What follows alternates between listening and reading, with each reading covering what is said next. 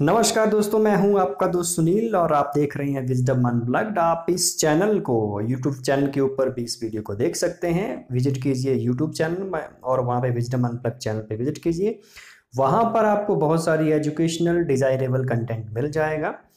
तो आज इस वीडियो में मैं आपको लेकर के आ रहा हूँ इकोनॉमिक्स बेसिक ठीक है? बहुत सारे मेरे को व्हाट्सएप के थ्रू भी मैसेज आए और फेसबुक पे जो डिजिटल मिशन पेज है एज वेल एज यूट्यूब के ऊपर भी। कि इकोनॉमिक्स को किस प्रकार से तैयार करें, क्योंकि इकोनॉमिक्स में क्वेश्चन जो है वो उनका आंसर देना मुश्किल हो जाता है उसका कारण यही है कि इकोनॉमिक्स के जब तक आपको कंसेप्ट क्लियर नहीं होंगे, तब तक आप उसके एमसीक्यू अच्छी तरह से आंसर नहीं दे पाएँगे। तो कंसेप्ट के लिए आपको बेसिक जो होता है इकोनॉमिक्स का अर्थशास्त्र का, उसको समझना ज़रूरी है। इसी कड़ी को आगे बढ़ाते हुए आज हम, मैं एन सी बूस्टर लेकर के आया हूँ, जिसमें सीरीज़ ऑफ़ वीडियोस लेकर के आऊँगा। शुरुआत हम कर रहे हैं इकोनॉमिक्स से। आज हमने लिया है नाइन्थ क्लास का जो फ़र्स्ट चैप्टर इकोनॉमिक्स का, उससे शुरुआत करेंगे। और वीडियो अगर आपको पसंद आए तो कमेंट बॉक्स में अपनी राय ज़रूर दीजिएगा और साथ में शेयर करते जाइए इस वीडियो को ताकि मैक्सिमम लोगों तक हम पहुँच पाए। तो चलिए शुरू करते हैं। जो नौवीं क्लास का पहला चैप्टर है, वो प्रोडक्शन के रिगार्डिंग है। वहाँ पे पालमपुर नाम का एक जो विलेज है, काल्पनिक विलेज लिया गया पालमपुर नाम का।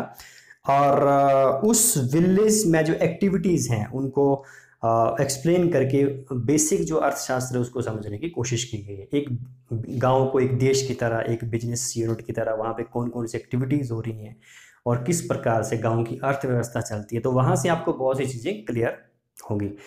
मैं मानता हूँ कि अगर आप मल्टीपल चॉइस क्वेश्चन लगाते हैं, एक हज़ार या दो हज़ार इकोनॉमिक्स के, और उनको याद करने की कोशिश करते हैं, उससे बेहतर है कि आप 40 या 50 जो कंसेप्ट हैं इकोनॉमिक्स के, उसको अगर आप समझ लेते हैं तो आप किसी भी प्रकार के क्वेश्चन को अपनी रीजनिंग लगा के सॉल्व कर सकते हैं। तो सबसे पहले basic concept of production production जो है, वो आपका एग्रीकल्चर और इंडस्ट्रियल दो प्रकार का होता है, हो सकता है, ठीक है? जैसे एग्रीकल्चर की अगर हम बात करें एक्टिविटी की तो उसमें कल्टीवेशन ऑफ़ क्रॉप्स यानी खेती बाड़ी जो हम करते हैं जो फ़सल उगाते हैं, वो आपका एग्रीकल्चर प्रोडक्शन में आ गया। ठीक है? और इंडस्ट्रियल प्रोडक्शन की बात करें तो मैन्युफैक्चरिंग है, जैसे आप कोई गन्ने का किसान है, उसने किसी को गन्ना बेचा और उस गन्ने से आपके जूस बनाने की जो फैक्ट्री है, वहाँ पे आपका सॉरी गुड़ बनाने की, गन्ने से गुड़ बन रहा है या आपका घड़े बनाने का जो आपका काम होता है गाँव में, वहाँ से घड़े बन रहे हैं, लोहे वाले का, लोहे का काम हो रहा है जूते का काम हो रहा है, बहुत सारी एक्टिव जितनी भी चीज़ें हैं ट्रांसपोर्टेशन हो रही है, डेयरी है, ठीक है? आपके हॉस्पिटल्स हैं सर्विसेज़ में। तो इस प्रकार से जो आपकी इंडस्ट्री जहाँ पे भी आपका शॉप कीपिंग है, दुकान वगैरह चलाना, जो नॉन एग्रीकल्चरल आपकी एक्टिविटी आ गई, उसको हम मैन्युफैक्चरिंग कहेंगे, विनिर्माण प्रोडक्शन अब प्रोडक्शन क्या होता है? आपको पता कि भारत में जो आपका सेवेंटी परसेंट से ज़्यादा पॉपुलेशन भारत में आपकी किस, कृषि के ऊपर निर्भर करती गाँव में रहती है और वह गाँव में आपकी एग्रीकल्चरल एक्टिविटीज़ होती हैं, ठीक है? तो गाँव में जितनी भी ज़रूरत की चीज़ें होती हैं, आप जीने के लिए और जीवन यापन करने के लिए आपको वस्तुएँ भी चाहिए और सेवाएँ भी चाहिए। वस्तुएँ यानी कि जो भी रोज़मर्रा की आपकी रोटी, कपड़ा, मकान चाहिए और सेवाएँ मतलब आपको ट्रांसपोर्टेशन भी चाहिए, आपको डिस्पेंसरी चाहिए, आपको कंप्यूटर सेंटर है वो भी चाहिए, आपको टीचर की सर्विस चाहिए पोस्ट ऑफ़िस जैसे है।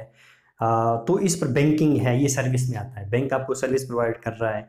डिस्पेंसरी में आपको स्वास्थ्य सर्विस दी जा रही है। ट्रांसपोर्टेशन है, वहाँ से सामान की ढुलाई और आप लोग एक गाँव से दूसरे गाँव जा रहे हैं।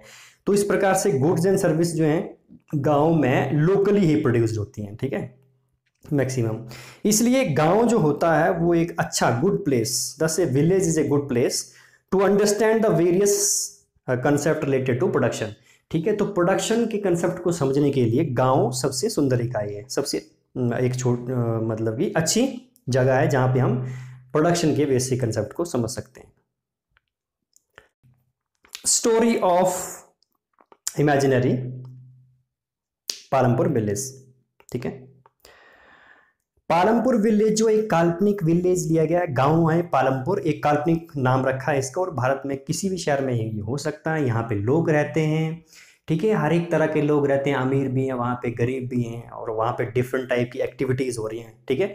प्रोडक्शन की एक्टिविटीज़ और नॉन प्रोडक्शन की एक्टिविटीज़ जैसे फ़ार्मिंग जो है वहाँ पे खेती बाड़ी करना गाँव में, पालमपुर जो गाँव लिया गया है, इस इस चैप्टर में तो खेती बाड़ी करना यहाँ की मेन प्रोडक्शन एक्टिविटी है। वहाँ पे आप फ़सलें उगा रहे हैं, कि किसान खेत में हल चला रहे हैं, वहाँ बीज को खेत में डाला जा रहा है, उसके बाद प्रोडक्शन होती है। तो ये प्रोडक्ट प्रोडक्शन की मेन एक्टिविटी है गाँव में, ठीक है? नॉन प्रोडक्शन की एक्टिविटी अगर हम कहें तो वहाँ पे स्मॉल मैन्युफैक्चरिंग हो रही है। जैसे मान लो एक एक गाँव से गन्ना जो है गन्ना लिया जा रहा है और यहाँ पे ये प्रोडक्शन यूनिट है आपकी फैक्ट्री है और इस फैक्ट्री में गन्ने से चीनी बना रही है, गन्ने से गुड़ बन रहा है, ठीक है? तो इसको कहते हैं हम स्मॉल मैन्युफैक्चरिंग ठीक है? और उस प्रकार, इस, उसी प्रकार से आप जैसे मान लो कपड़ा कपड़ा उद्योग है कोई जो आपका धागा है, धागे से जो है वो जैसे गाँव में देखे खड्डी होती है, उसमें शॉल बनाए जा रहे हैं, चतरे बनाई जा रही हैं शॉप कीपिंग है दुकानदारी का काम है जो ये चीज़ें पैदा प्रोड्यूस्ड हो रही हैं प्रोडक्शन हो रही है, इसको ट्रांसपोर्ट एक गाँव से दूसरे गाँव के लिए क्या हो रहा है? वहाँ पे बैलगाड़ी का प्रयोग हो रहा है या डिफरेंट टाइप ऑफ़ व्हीकल्स का प्रयोग हो रहा है, वो ट्रांसपोर्टेशन है। तो ये फ़ार्मिंग को छोड़ करके जो भी एक्टिविटीज़ हैं, उनको हम नॉन प्रोडक्शन एक्टिविटीज़ कहते हैं, ठीक है? Now requirement for the production of goods and services अगर आपको गुड्स और सर्विसेज़ को प्रोड्यूस करना है तो उसके लिए क्या क्या रिक्वायरमेंट चाहिए?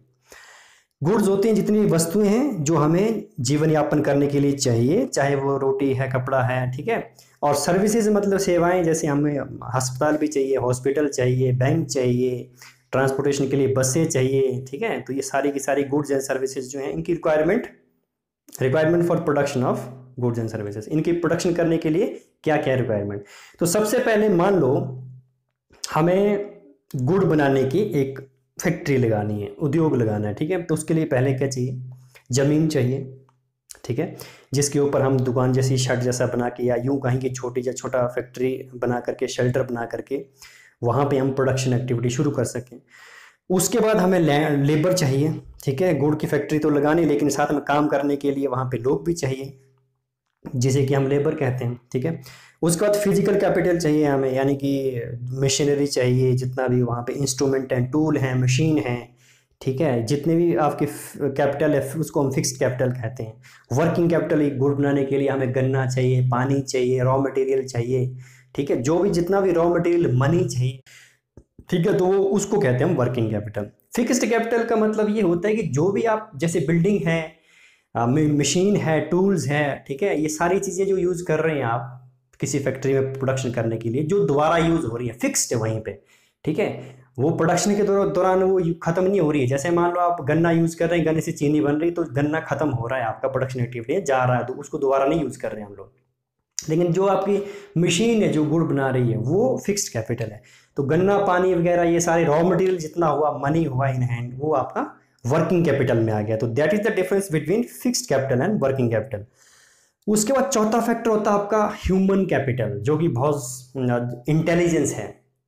जिसने भी सोचा कि किस प्रकार से मैं ये ये टेक्निक लगाऊँगा और ऐसे ऐसे काम करके इतने मजदूर रखूँगा, इतनी उनको पेमेंट दूँगा। इस तरह की स्ट्रैटेजी को अपना करके, अपना दिमाग का यूज़ करके मैन पावर माइंड यूज़ करके ब्रेन का यूज़ करके एंटरप्राइज ठीक है? नॉलेज और एंटरप्राइज को हम ह्यूमन कैपिटल बोलते हैं। उसको हम ह्यूमन कैपिटल बोलते हैं।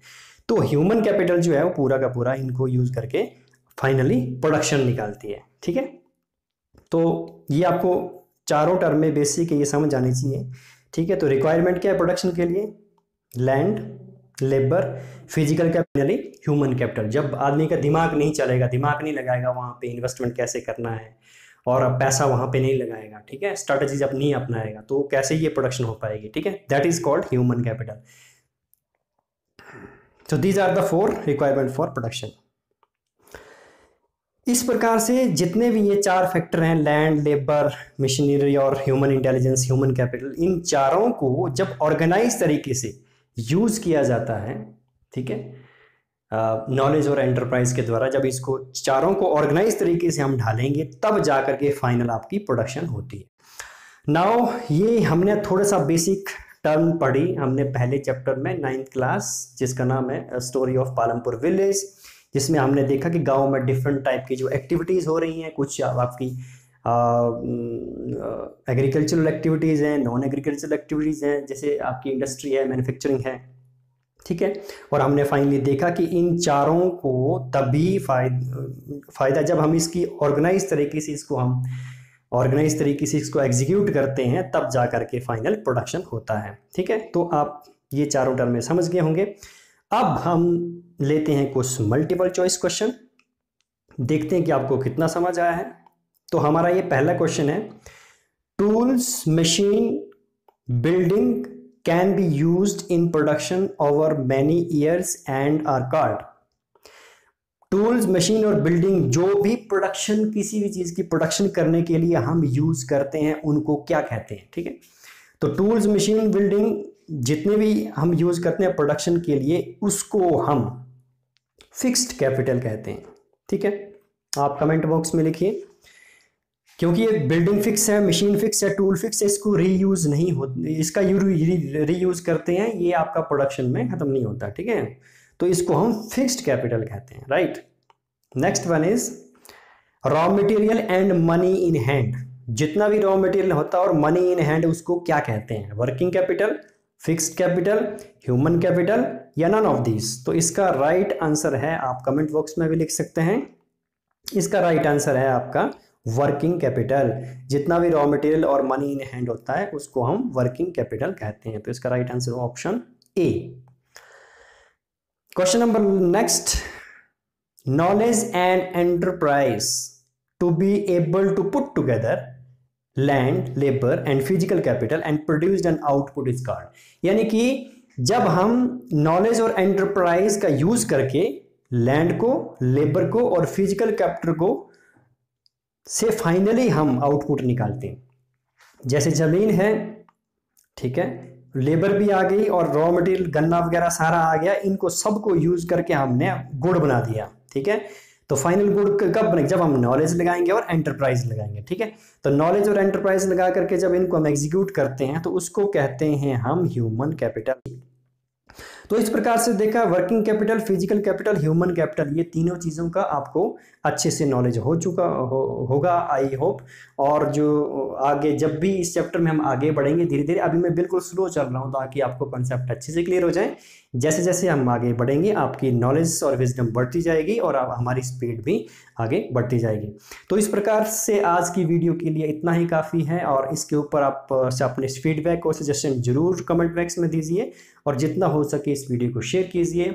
आपकी कोई राय है, आपका कोई सजेशन है, आपका कोई क्वेश्चन है वीडियो के रिगार्डिंग तो आप ज़रूर पूछिएगा। Thank you so much